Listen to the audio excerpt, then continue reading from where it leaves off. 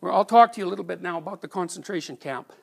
Concentration camps were established, they were established in England, Germany, Russia, China, Cambodia, and Yugoslavia.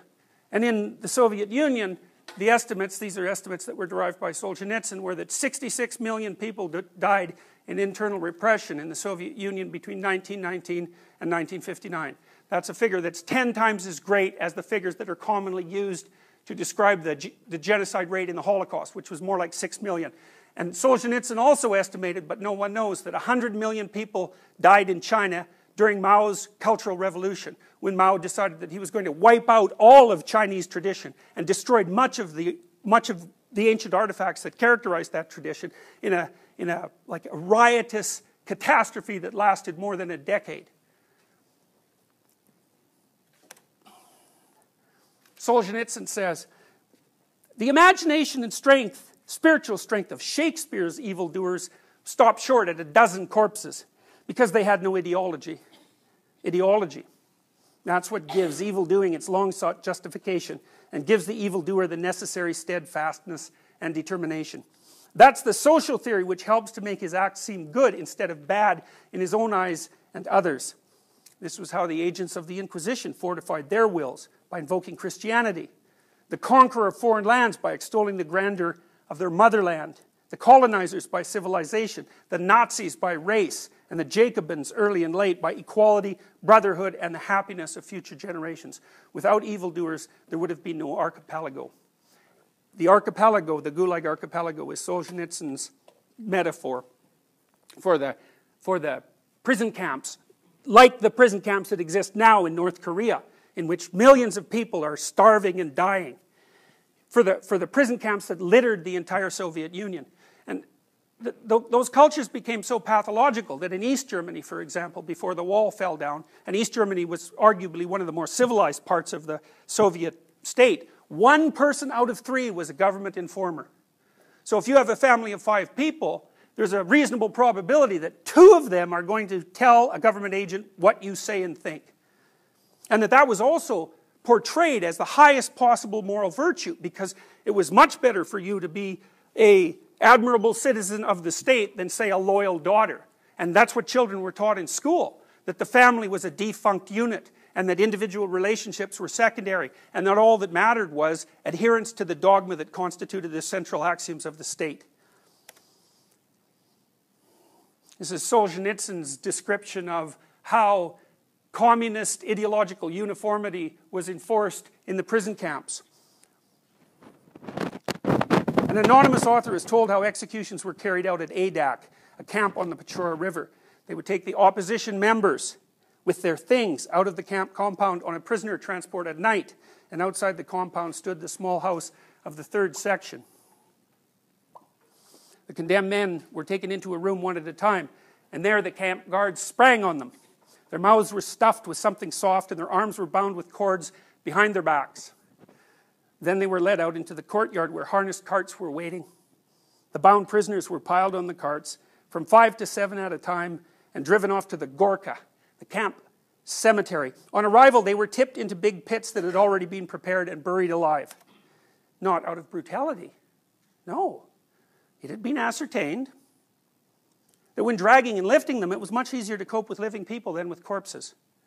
The work went on for many nights at Adak and that is how the moral political unity of our party was achieved.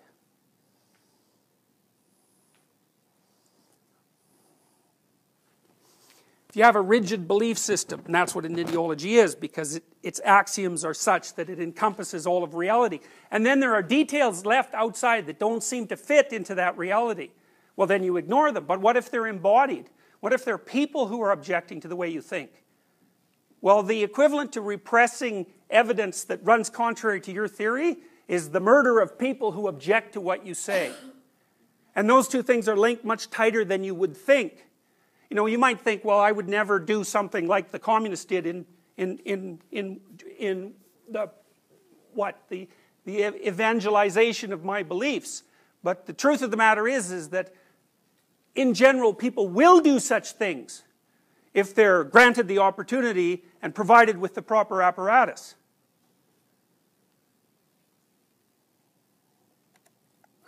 This is Frankl from his accounts of the concentration camps under Nazi Germany. The most ghastly moment of the 24 hours of camp life was the awakening, when, at a still nocturnal hour, the three shrill blows of a whistle tore us pitilessly from our exhausted sleep and from the longings in our dreams. We then began the tussle with our wet shoes, into which we could scarcely force our feet, which were sore and swollen with edema. And then there were the usual moans and groans about petty troubles, such as the snapping of wires which replaced shoelaces. One morning I heard someone whom I knew to be brave and dignified cry like a child because he finally had to go out to the snowy marching fields in his bare feet, as his shoes were too shrunken for him to wear. In those ghastly moments, I found a little bit of comfort a small piece of bread, which I drew out of my pocket and munched with absorbed delight. Solzhenitsyn. Many of the Gulag camps contained two classes of prisoners rapists, murderers, and thieves who were very well organized in Russia and the Soviet Union, and political prisoners. And because the Soviets believed that the reason that people were thieves, murderers, and rapists was because of the appalling sociological conditions that they grew up into, they believed they were socially friendly elements who could still be redeemed. So they put them in charge of the camps. And so the political prisoners were at the bottom of the hierarchy. The prisoners ran the camps with minimal supervision. And the camps were often forced labor camps. And forced labor meant do something difficult and pointless until you die. It didn't mean, it meant only secondarily produce something of potential value to the state. You saw this with Nazi Germany too. The Nazis when they started to lose the Second World War. They could have stopped their Holocaust machinations and used the people they had imprisoned to build implements to further the war effort, which they did to some degree, so they could have used them as slaves. So this would be the logic. Take the slaves, make the munitions, win the war. Then, after you've won the war, you can run around and mop everybody up. But that isn't what the Nazis did. When they started to lose, instead of doing what you think would be rational, in the pursuit of what was hypothetically their goal, they amped up the killing and, and took resources away from the war itself. And so the conclusion that's reasonable to draw from that is that the killing was the purpose of the war. All the rest of it was just window dressing. And exactly as, as Solzhenitsyn described in the earlier quotes that I told you was that ideology was only there to allow the people who were fundamentally motivated towards genocide and destruction to pretend to themselves that they hadn't become rotten to the absolute core. But when push came to shove and they had to show where their allegiances lie, they weren't even, they weren't even valid followers of the Nazi party because they put the continued pursuit of death above their own survival, even as an ideology. And that's how ideology degenerates. And part of the reason for that is that the narrower the box that you stuff yourself into, the weaker your character becomes. Because there's nothing left of you. You're just a shell that has demons in it.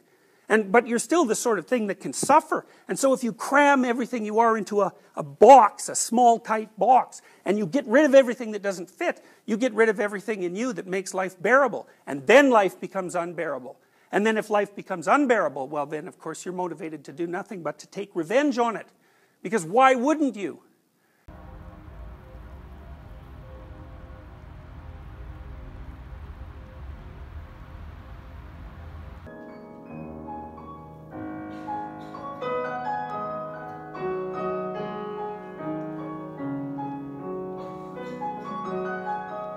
your head. They have you pick out some random clothes from a pile of clothes. Hopefully, they don't fit. And then you're tried, you confess, if you will, and you're off to the prison camp. To say that things were painful for them is to say almost nothing. They were incapable of assimilating such a blow, such a downfall. And from their own people, too, from their own dear party, and from all appearances, for nothing at all. After all, they had been guilty of nothing as far as the party was concerned, nothing at all. It was painful to them to such a degree that it was considered taboo among them, uncomradely, to ask, What were you imprisoned for? Ha, They were the only squeamish generation of prisoners. The rest of us, with our tongues hanging out, couldn't wait to tell the story to every chance newcomer we met and to the whole cell as if it were an anecdote. Here's the sort of people they were. Olga Sliozberg's husband had already been arrested, and they had come to carry out a search and arrest her too. The search lasted four hours. And she spent those four hours sorting out the minutes of the Congress of the bristle and brush industry of which she had been the secretary until the previous day. The incomplete state of the minutes troubled her more than her children, who she was now leaving forever. Even the interrogator conducting the search could not resist telling her, Come on now, say farewell to your children. Here's the sort of people they were. A letter from her 15 year old daughter came to Yelizaveta Tsvetkova in the Kazan prison for long term prisoners. Mama, tell me, write to me, are you guilty or not? I hope you weren't guilty because then I won't join the Komsomol, which was the young communists organization, and I won't forgive them because of you. But if you're guilty, I won't write you anymore and I will hate you. And the mother was stricken by remorse in her damp, grave like cell with its dim little lamp. How could her daughter live without the Komsomol? How could she be permitted to hate Soviet power? Better that she should hate me. And so she wrote, I am guilty. Enter the Komsomol. How could it be anything but hard? It was more than the human heart could bear to fall beneath the beloved axe and then to have to justify its wisdom. But that's the price a man pays for entrusting his God given soul to human dogma. Even today, any Orthodox communist will affirm that Tsvetkova acted correctly. Even today, they cannot be convinced that this is precisely, quote, the perversion of small forces, that the mother perverted her daughter and harmed her soul. Here's the sort of people they were YT gave sincere testimony against her husband, anything to aid the party. Oh, how one could pity them. If they at least had come to comprehend their former wretchedness, this whole chapter could have been written quite, differently if today at least they had forsaken their earlier views. But it happened the way Maria Danielyan had dreamed it would. If I leave here someday, I am going to live as if nothing had taken place. Loyalty? In our view, it's just plain pig headedness. Those devotees to the theories of development construed loyalty to that development to mean renunciation to any personal development whatsoever. As Nikolai Adamovich Vilenchuk said after serving 17 years, we believed in the party and we were not mistaken. Is this loyalty or pig-headedness? No, it was not for show and not out of hypocrisy. Hypocrisy that they argued in the cells in defense of all the government's actions. They needed ideological arguments in order to hold on to a sense of their own rightness. Otherwise, insanity was not far off. This is from Paradise Lost. So, in this scene, Satan is cast into hell, and it's because of his rebellion against the transcendent, his idea that he himself is sufficient. This is his statement to his crew Farewell, happy fields, where joy forever dwells. Hail, horrors, Hail, infernal world, and thou profundest hell, receive thy new possessor. One who brings a mind not to be changed by place or time. The mind is its own place and in itself can make a heaven of hell or hell of heaven. What matters where if I be still the same and what I should be? All but less than he whom thunder hath made greater? Here at least we shall be free the Almighty hath not built here for his envy, will not drive us hence. Here we may reign secure, and in my choice. To reign is worth ambition, though in hell. Better to reign in hell than serve in heaven. Situation when you got orders, which is thought were wrong. How do you react? When do you start to do something against it? To me, this is very important. We are not talking about aliens. We are talking about um, this photograph, it's, it's very famous. I think most of you will not see it the first time. It's from Soviet Union around 1941, 1942. We see a pit with corpses we see one man who's about to be shot, cannot tell anything more than he's a man. cannot tell if he's Jewish or not. The only way of telling it would be this yellow star. He doesn't carry it, but of course it could be on the coat. It's very likely that he is Jewish because most of those being shot in these uh, mass shootings were Jews. We see one perpetrator with one gun and very many other men. What others, other men do? Yeah, watching, spectators. They haven't got anything to do with it. In almost all these cases, when there were mass shootings, there was a crowd of people, an audience. In this case, only Germans. Very often people from the neighborhood. I mean, anti-Semitism isn't anything specific German. There was a huge anti-Semitism in Ukraine, eastern parts of Poland, Lithuania. And there, sometimes just the crowd watched this and were cheering. In this case, only Germans. I do not say this man should have done resistance that very moment. There's nothing I can say. But what I can tell is he knew about it. The others knew about it. And the photographer knew about it. From 1945, in both parts of Germany, there was this myth we didn't know anything about these atrocities. For most of the people, this must have been a lie. Apart from the fact that the crimes didn't start here. I mean, that the people were stigmatized, that they were being pushed out of the society, that there were laws against them, that they were deported, of course everybody knew. But even this is something most of people must have known. Um, this the research quite new about all those German soldiers who were who became prisoners of war by the Brits and um, the US Americans. For those men, war was over. They were in barracks, and while they were in their barracks, they were being surveilled. Of course, without knowing it the Allies, West Allies, wanted to find out, yeah, should they pass some information? Um, what were they talking about?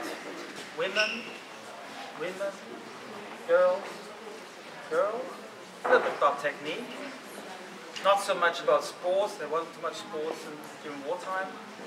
And sometimes, of course, they were talking about yeah, what they experienced during wartime. Um, it's an archive in, in Washington nowadays with 150,000 of uh, pages of paper. 150,000. If it would be the truth that the Germans didn't know anything about it and somebody talks, starts to talk about atrocities, then you would expect two sorts of reactions. The first would be, what? Cannot be true. Never heard of it. The other would be, that is not true. True, that is uh, propaganda by the Allies. Those two reactions you do not find in those 150,000 of pages, uh, pages of paper. Not one single case of such a reaction. Um, people are just talking about these atrocities as if it was the most common thing in the world. And for those people, only adult male Jews, that was changed already after six weeks, all of them. Women, children, babies, everything. Um, there was a very long front line from Leningrad almost to the Caspian Sea, more than 2,000 kilometers. And everywhere at the same time their order was to kill every Jew. So the, uh, the SS was not enough, they needed help. And this help they pretty much got from the war police. It could happen that you were a traffic policeman until 1941, then you applied for a task force. Before they killed the first time, the major was standing in front of his police battalion, telling them what the order would be. Today we kill every single Jewish woman and child in this village. And then he did something very unexpected. He said whoever feels not being capable of doing so should take one step forward. Of those 500 policemen, 12 stepped forward.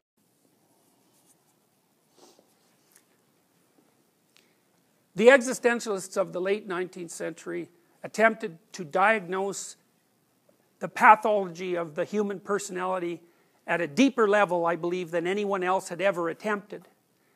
And their fundamental conclusion was that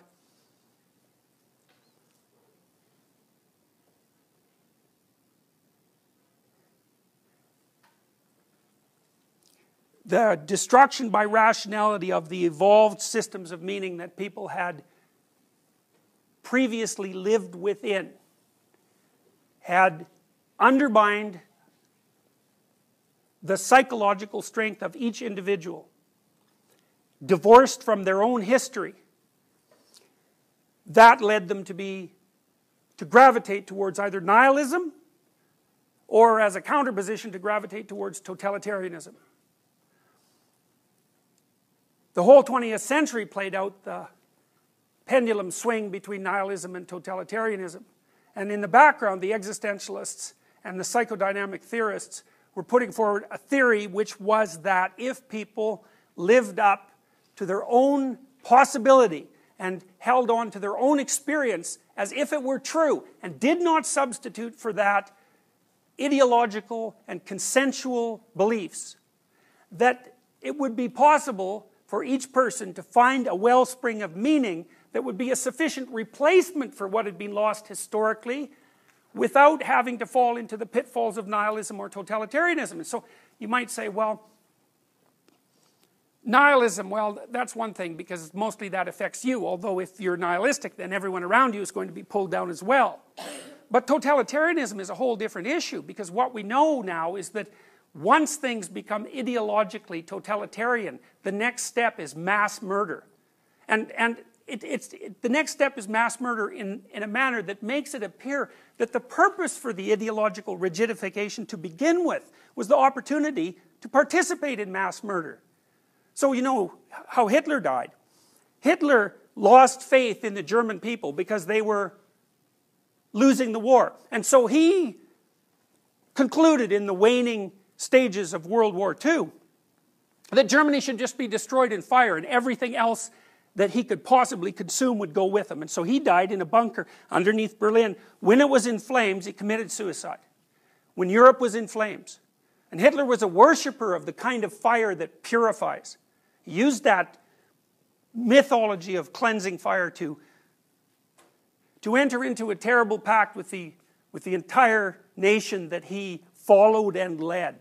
And Stalin, Stalin just didn't just kill individuals that he pulled off the streets. He killed like all the engineers and all the doctors because he believed they were wreckers. They killed all the good farmers. They killed six million Ukrainians. They moved whole nations of people into Siberia and let them die. And there's every, every bit of evidence there is suggests that what Stalin was doing was practicing murderous genocide on an ever larger scale and hoping that it would culminate in a, a thermonuclear war. And we escaped that just by a thread. The existentialists make the claim, which, which I think is a remarkable and powerful claim, that the way out of those catastrophic situations is not through political action per se, or it's not going to be resolved by one party defeating another or one position defeating another. That's a continuation of the same process that produces the problem. The existential and the psychodynamic answer to this problem is that it's more a disease of the soul than a disease of the state. And that the way to address it is to ensure that you live in a manner that makes you neither nihilistic nor susceptible to ideological possession. Little thing called the uh, I do a vlogumentary journal, and I basically document. I document my journey, and I use the documentations as a way to discover what problem it is I'm trying to solve and how to solve it. Solzhenitsyn and, and other, other thinkers like him, like Frankl, believed that, this, that society was a macrocosm of the individual. not the other way around, not that the individual is a sub element of society.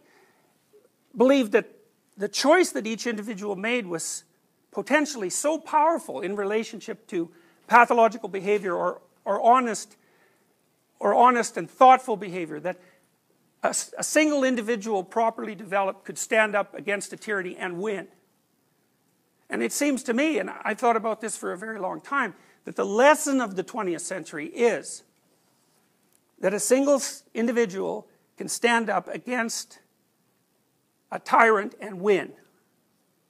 And each of us are single individuals. And the danger of tyranny and the danger of nihilism are not past. And so, as inheritors of the catastrophic legacy of the 20th century, and as inhabitants of the new millennium, part of your responsibility is to live your own life and to live it honestly and to pay attention to your own experience and not take the easy way out that ideological systems offer you. They're destined to transform themselves into rigid and murderous pathologies. And you offload your responsibility for thinking and acting to them. And then you have to ask yourself, well, what are they?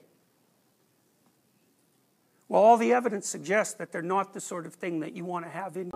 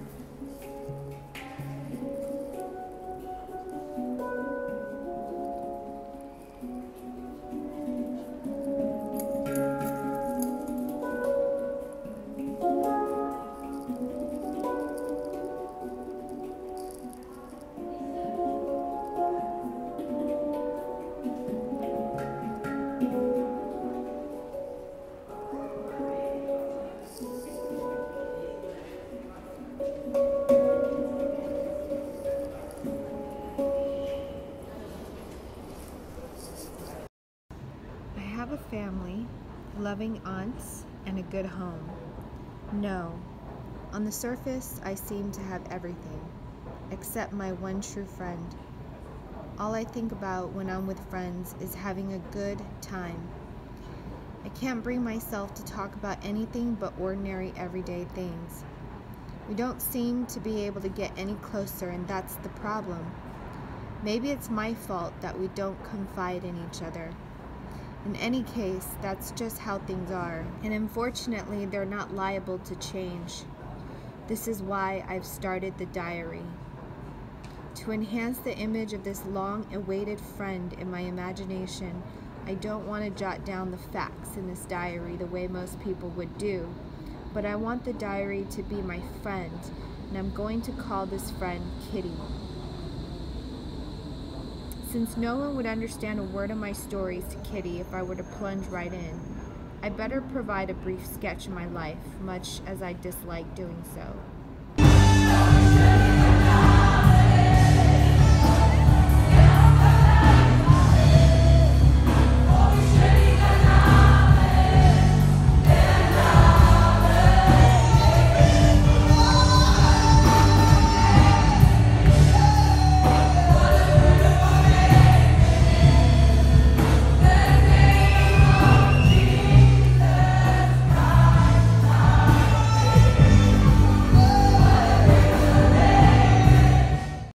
So let's start with postmodernism. The first thing to understand about the postmodernists are that they are by no means unintelligent. Uh, quite the contrary. Jacques Derrida, for example, and Michel Foucault, for that matter, two famous French public intellectuals who are both at or near the head of what you might describe as the postmodern intellectual revolution, are extraordinarily intellectually capable. Um, that doesn't mean they're correct by any stretch of the imagination, but it, it certainly means that they're more than able to put together a, an argument that's difficult to disentangle. And so we'll start with the, what I think is the most central power, the most powerful central claim of postmodernism, a claim which I think is actually correct and which also has bedeviled many other fields, including, surprisingly enough, artificial intelligence. The claim is something like there is an infinite number of ways to interpret any even finite set of phenomena. And, and, and that actually happens to be true. It's, it's, it's part of the reason why it's been so difficult for human beings to develop artificial intelligence and for them to develop machines that could operate in real world environments because it turns out that the world is so complex that perceiving it appears virtually impossible, technically speaking. We heard a little bit earlier the, the, previous talk about embodied cognition. and one of the ways psychologists are trying to address the issue of the impossibility of perception is to note that perception isn't possible without situating the mind in a body that has a certain set of constraints. Um, we also devote a tremendous amount of our neurological landscape to to sensory processing so that when we look at the world, it can manifest itself in the self evident way that it appears to. But that doesn't mean that it's a simple problem, it's a very complicated problem. And the postmodernists were technically correct. There's, there's, a, there's a near infinite number of ways to, to perceive and interpret a finite number of phenomena. Now, you see, the thing that's interesting about that claim, um, apart from the fact that it happens to be technically true, is that you can use it to mount an assault on any interpretation of anything whatsoever because there is a tremendous vari variability in the number of interpretations that you could bring to bear on a situation, then you can instantly jump to the conclusion or expound the proposition that none of those interpretations should be privileged above all above any others. Now, that's actually wrong. And this is why postmodernism is correct in its central assumption, but incorrect in its secondary assumption. Now, the reason it's wrong is because although there is a very large number of potential interpretations of the world, that does not mean that there is an equally large number of viable interpretations of the world. Now, you might say, well, what constitutes constraints on the viability of an interpretation? And I would say, well, there, there's a number of them. Um, and I think you have to understand this in the context of living creatures viewing and interpreting the world, and also within a broader evolutionary context. The way that evolution solves the problem of the infinite number of potential interpretations is by killing every single thing that interprets things badly enough to die. Right, and so and I, I mean this, this is actually one of the most powerful arguments for the necessity of the evolutionary, uh, for the necessity of the accuracy of the evolutionary theory.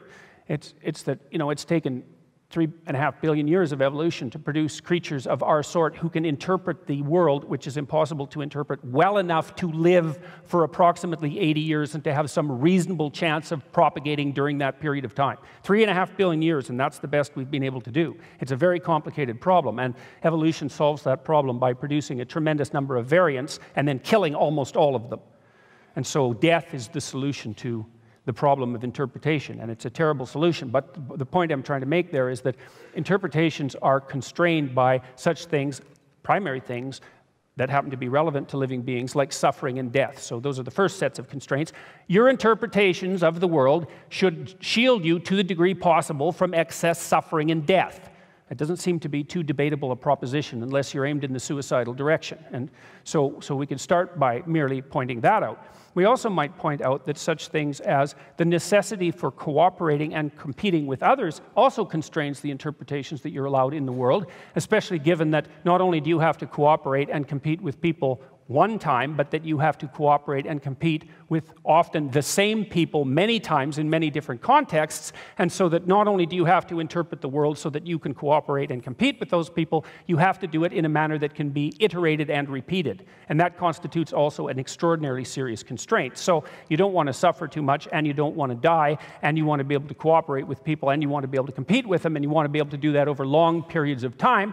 And then maybe you also want to do it with an aim in mind, because generally we have aims in mind, and so there are things that we like to have more than other things, and so we aim at those, and then we have to constrain our interpretation so that when we enact them in the world, the probability that what we're aiming at is going to happen will improve. And all of those constraints operates, operate simultaneously. And what that implies, and I think Jean Piaget, the developmental psychologist, maybe went farther along this line of thinking than anyone else I know about, anyways. It's sort of an elaboration of Kant's fundamental ethical maxim, which was something like um, act as if the thing that you're doing will be done by everyone. And, but the Piagetian sense was more like act as if the thing that you'll be doing needs to be repeated endlessly in a manner that moves up instead of down. It's something like that. But the point is, is that there's, there's tremendous constraints on the manner in which we can interpret the world from any realistic perspective. So the criticism that there are an infinite number of interpretations falls apart on closer examination. So that's the, that's the first place that the postmodernists are seriously wrong. They radically underestimated the intrinsic constraints on, on, on interpretation.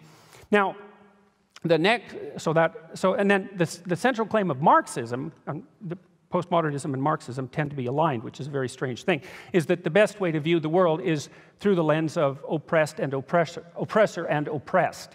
Now, the funny thing about that is if you're a postmodernist, is that that's actually an interpretation, right?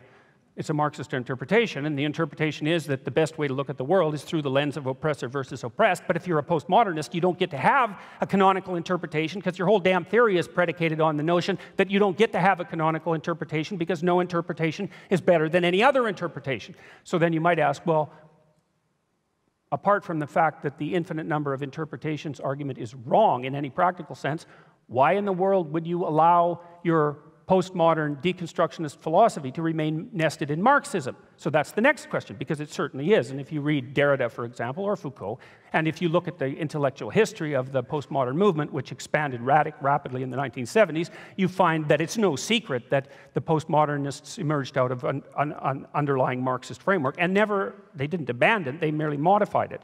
So it, it went from uh, bourgeoisie against proletariat to you know, one identity group after, against the other, but it was still oppressor oppressed narrative. It's just a sleight of hand. So the question is well, why in the world, if you make the central claim that no narrative is to be privileged, why in the world would you accept your alliance with Marxism? And so the first answer to that might be the optimistic one, which is that the postmodernists and the radicals who are driving the politically correct movement are actually sincere in their desire to help the oppressed. And so we could say, having established the fact that there's an absolute plethora of interpretations, and dispensing with the notion that any of those are canonical or valued above any others, we can still act like decent human beings and try to take care of people who are less fortunate than us. Now, as an intellectual argument, that's a really bad one, because you don't get to have the first proposition and the second proposition simultaneously. But I would also say that respect for coherence and logic is not the strong suit of postmodernists, and that's actually a technical part of their theory. So, but the problem with that theory, as far as I can tell, and this actually happens to be a big problem, was that by the late, late 1960s, even French intellectuals as boneheaded as Jean Paul Sartre finally had to agree that the evidence what pouring in from places like the Maoist China and, and the Stalinist Soviet Union or the post-Stalinist Soviet Union were revealing abhorrent political practices on such an, at such an at such a level of magnitude and undeniability that even a French intellectual had to admit that there was something wrong. And so by the end of the 1960s, it became impossible to simultaneously claim that you actually had concern for the oppressed, or even for the oppressor for that matter, and also claim that you would abide by the tenets of Marxism as a functional economic and political doctrine. No one would do that. And I think the, the, the cap was put on that by Alexander Solzhenitsyn in the mid 70s. So I don't buy the postmodern argument that it's compassion that's driving the postmodern alliance with Marxism. I don't buy that a bit because I think that if, these, if, if the postmodernists were compassionate and they were using that as the default aim in their life, let's say, because they don't have any other aim because of their postmodern relativism, you'd have to accept the compassion idea. But because they're ignoring the historical reality that the doctrines that they're trying to put into practice were murderous beyond belief, then I can't accept the argument that it's compassion that's driving it. So it's wrong that way too. And then the next thing is that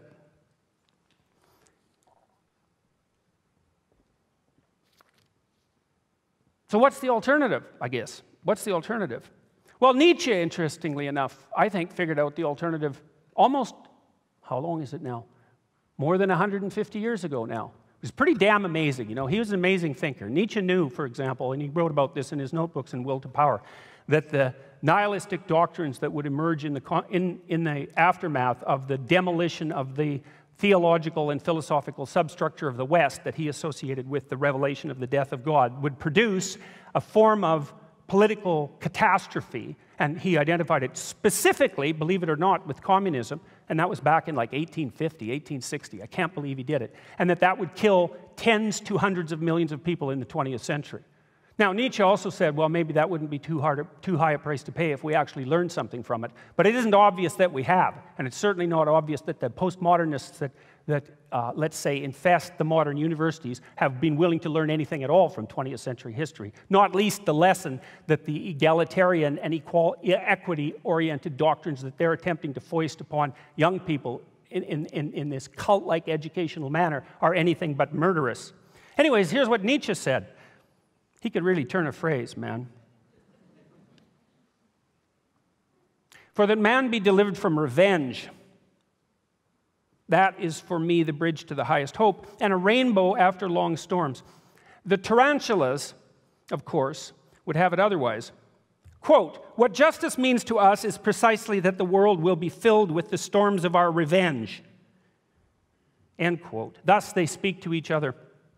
We shall wreak vengeance and abuse on all whose equals we are not.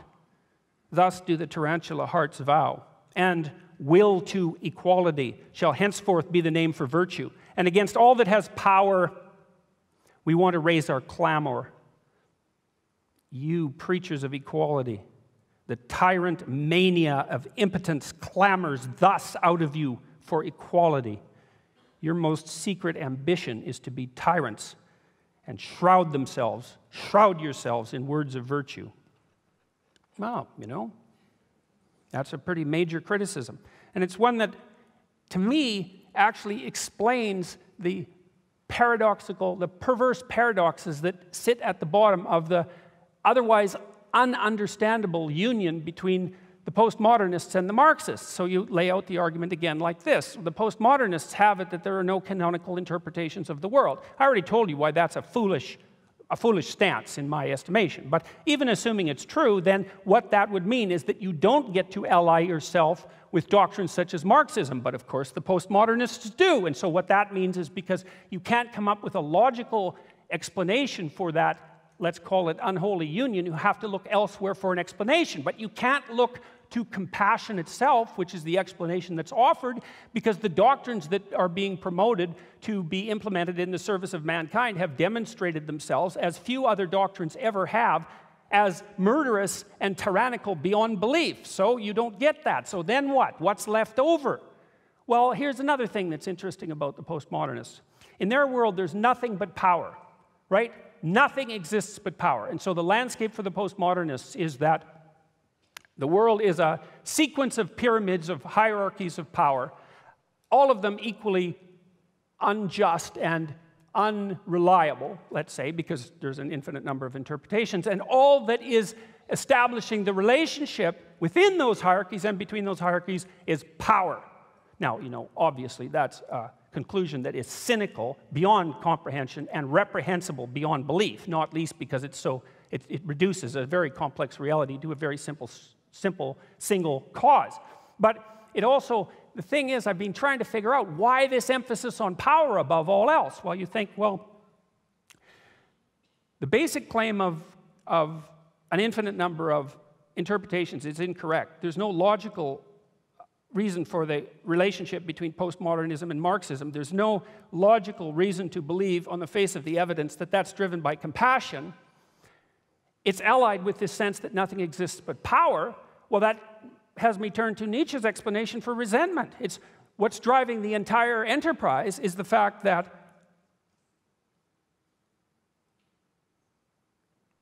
people in the academy, let's say, intellectuals in the academy, look out at the world and they notice that there are others who are respected perhaps more than they are, and there are others that have perhaps more than they are, and that goods are inequitably distributed beyond them.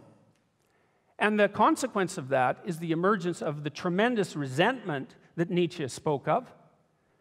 The desire of that resentment is to pull down the hierarchies by criticizing them. That's the motivation for positing the uh, infinite number of potential interpretations because if there's an infinite number of potential interpretations and your interpretation privileges you to a per particular position of power and I can undermine the, your claim to the validity of that interpretation, then I can logically demolish your claim that you deserve whatever power, authority, privilege, etc. goes along with that position. While the other, it also allows me to usurp it. It allows me to use it for my own purposes. It allows me to take power and control. And since the postmodernists have already claimed that all that exists is power, why should we assume that there's anything whatsoever that motivates them, especially given the other incoherent paradoxes that are, that are a part and parcel of the doctrine and its alliance with Marxism? Why should we assume that it is anything at all other than the naked will to power that motivates and activates the doctrine? Well, that's what I've been thinking about for like intensely, more intensely than usual, for about the last eight months. You know, when I've got it boiled down to something approximating 15 minutes, which is a bit short, a bit short, a bit, a period of time that's a bit short to deal with such things, but I would certainly at least invite you to think about it because I don't see that I haven't been able to figure out any way out of the logical argument that I just presented to you. And if that argument is correct, then that's a diagnosis for why what's happening in the political correct world and actually what its motivations are. And I believe that my argument is it's accurate. It's accurate. And it's destroying the universities and it's invading the rest of our society. And the idea that there's something good behind it, that's a dangerous idea. I don't think so. I think what's behind it is exactly what Nietzsche noted 150 years ago it's resentment and the demand for power, disguising itself most reprehensibly as compassion. And it's time for the mask of that to be taken off and things set straight before we walk further down a path that will lead to no good than we've already walked down.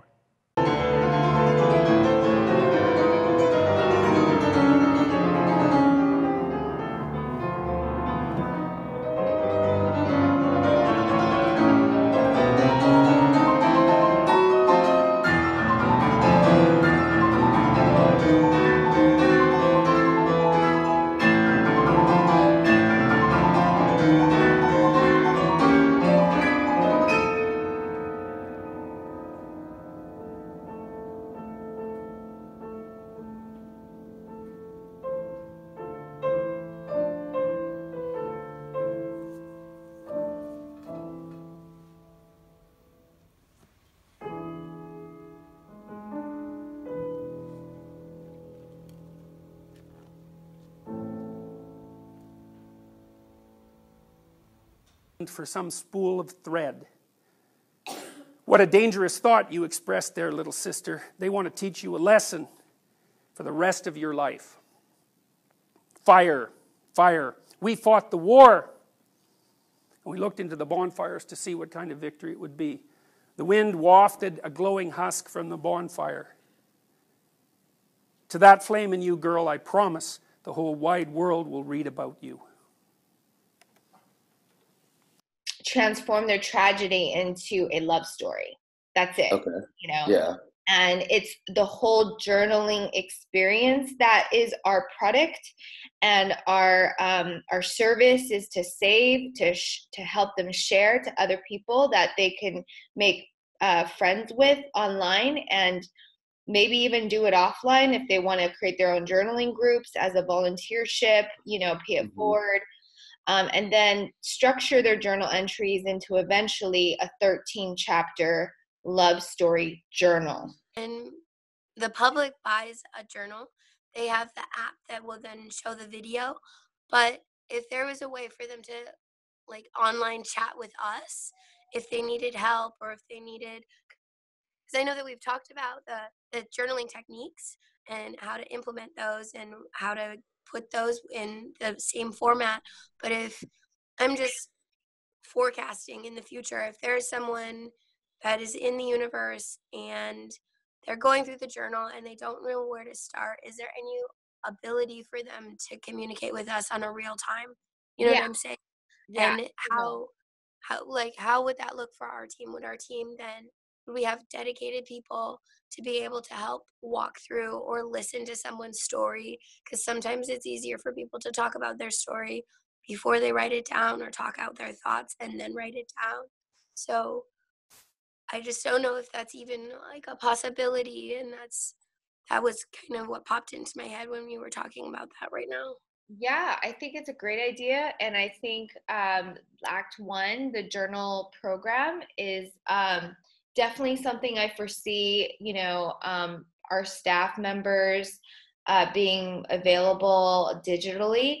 However, we got to work out the um, the membership and and also uh-huh. our time and our pay that goes with yeah. it. Uh, let's see. I'm ex-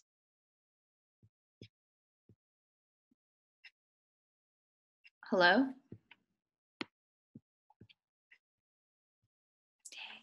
I paused again. Hello. Just briefly go over this. Uh, let's see if I have that. That's that's quarter two, right? April first. Yes, that's quarter cool. two. We're gonna start that playbook, and that's gonna be the real time board. That's right. Got to go to the real time. Or you could go to my doc. It's right on the bottom. That might be nice to look at.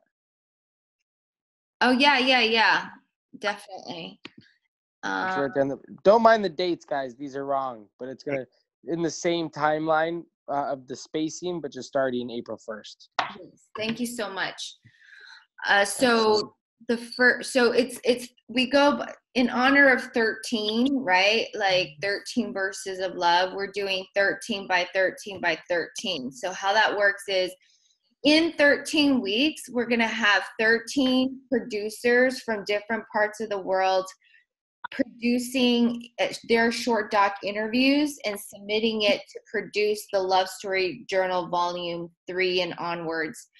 And then 13 showcase producers that's going to pair with the the storytelling producers to put on the show on the 13th. No, we didn't. We said 14th week, um, but that's another story because we have to on the 13th week we're going to have the books physically in everyone's hands. On the 13th week, um, we would have successfully crowdfunded a thousand journals uh, digitally everywhere, somewhere into the into the world, and um, we'd we'd also have the copyright done, the publishing setup done, so that it's um, on Barnes and Nobles, ready to be picked up digitally. You know, now they have print on demand. It's very easy to get these distributed worldwide. Um, okay, so uh, and 13 ambassadors, I believe. I'm going to talk to Annalyn about that. Annalyn is our digital producer. Uh, we're already starting a journaling pilot. This is to, like, how do we actually engage with the content we're producing? That's what we're piloting and we're going to see if we could get 13 college or high school college and high school ambassadors to start their own journaling circles. So this is kind of where that space is. So they're going to feel anxious about it. Um, there's gonna there's a whole website with Steven Pressfield about the war of art and talks about the resistance and that's gonna be very normal. So just letting people know when you first onboard them as ambassadors like what are some uh, expectations what are some normal um, processes they'll experience when they do this pilot? Um, and how that this experience of fear and anxiety and resistance is actually very normal so not to make it wrong. Um, they're going to experience writer's block. I know i've gotten anxious. I've I've had to like cancel certain plans after my journaling because I just was so drained, so drained. Yeah. After yep. that, you know. Um, so absolutely. Just, yeah, letting people know about that. Uh, but it's all soul work, right? It's all soul work, and soul work yeah. is so heavy, and it's not even a bad heavy, right? When you're looking at who you are and you're trying like I just had a conversation with a good friend about when you me personally as a as a younger person, when I got angry, it wasn't because I was angry, it's because I was scared. Mm-hmm. Right? And that's not necessarily a healthy defense mechanism, right? I can't teach my daughter that. I need to teach my daughter how to own her feelings. That's hard work. It's hard work to identify what you're feeling and how to appropriately express those feelings, mm-hmm. right? It's safe to express anger out of fear. Mm. That's a safe way to handle your fear.